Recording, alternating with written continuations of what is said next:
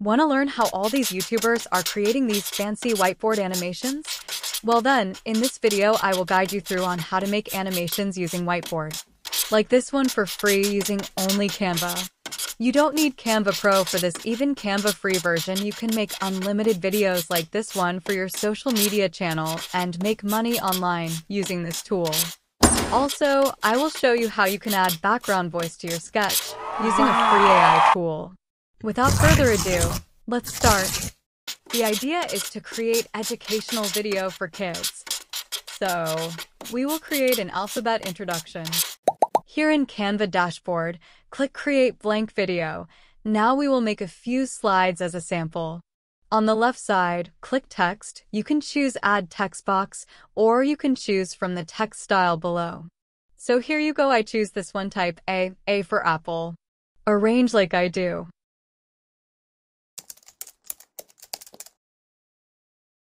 Then, on the left side, click Elements, search for an apple, click the image you like, adjust the image according to the size you like. What I did to create the next page is to click these three dots, click the duplicate page. Viola. This is the easiest way to have the same font style and size. You will change the details like I do. B for ball.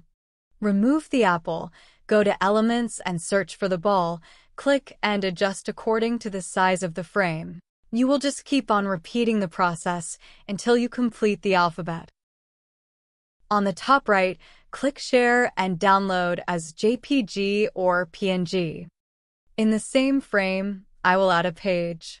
Then, on the left side, scroll down, click the apps. On the search bar, type Speed Paint, click the app until you see the same screen like mine. Choose File or upload the image that we saved. As you can see, it will show on this side, scroll it down, and choose the duration of the sketch. Color fill duration. These are the options for hand style, or you can tick this box. That means no hands will appear on the sketch. This is the sample.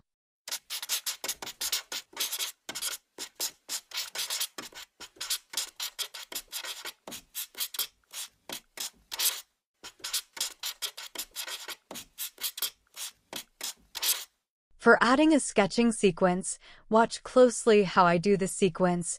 First, highlight the A letter. Second, the apple word. Lastly, the apple drawing.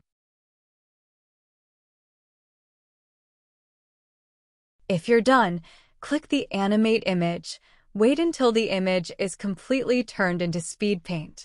Here you go, MP4 will appear on the frame. Adjust the size of the video like I do. To add background voice to our sketch or background sound. Go to ElevenLabs to convert your text to voice.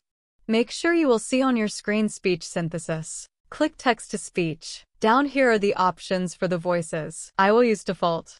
To make it simple, type A for Apple, generate and download. Now go to CapCut, import the MP4 and sound, adjust according to your video duration like I do. Keep on repeating the same until you complete. To add sketching sound, it's free and available in CapCut. In audio, click Sound Effect. In the search bar, type Writing. Here are options for sound effect. I think I'll choose this one. Add and adjust like I do. Click Share and export your video. Your video is ready. Thank you for watching this video. If you want to know more about AI, please comment down below. Thank you.